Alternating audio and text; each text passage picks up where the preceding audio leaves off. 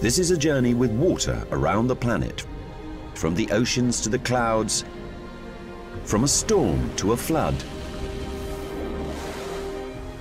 Intrepid adventurer Donal Macintyre is going to experience the worst it can get.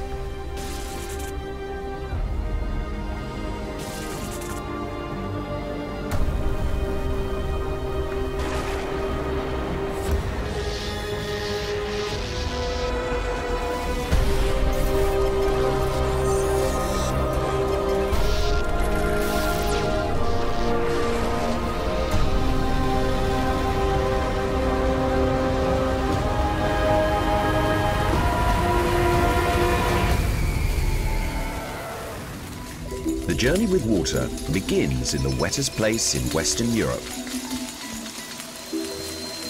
Bergen, city of rain on Norway's western coast.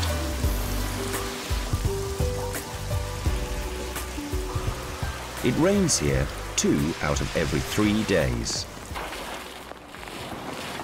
So what's the one thing you need in a city like this? Umbrellas, lots of them. We have some special umbrella for little rain, lot of rain, and storm. For every occasion. Yes. The city is so proud of its rain, they can it and sell it to the tourists.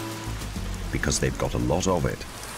And crashing down on the roof of the average family house every month is a staggering 18 tons of rain. That's 225 tons a year.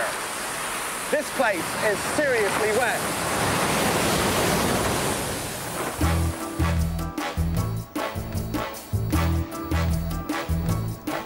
This is TV2, Bergen's local television station. Benedict Rasmussen has the unenviable job of presenting the weather. The longest period of rain was in 1990, and I know this because I've checked it now. But uh, it turns out that it was raining from the 3rd of January to the 26th of March that year, and that's about 83 days. And I can't remember, but I, I think I, I was quite fed up of rain after those days.